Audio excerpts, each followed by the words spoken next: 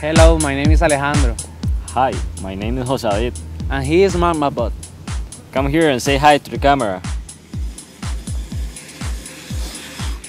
Hi, I'm MagmaBot.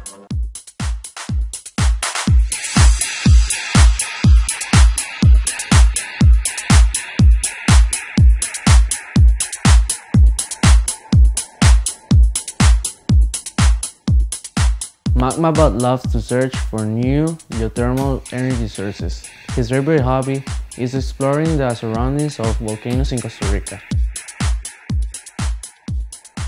He's learning about the Poás volcano.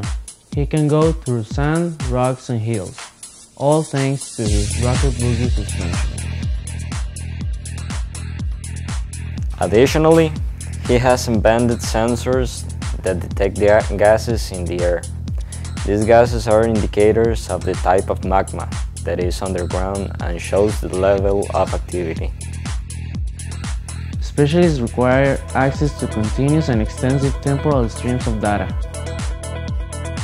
And that's why we develop additional independent sensing stations. The mechanical structure is designed to fit inside MagmaBot. Once it is dropped, it expands to improve its stability and data rate transmission. The data is transmitted to MagmaBot and then is retransmitted to a web server. The information is real-time displayed with interactive graphics.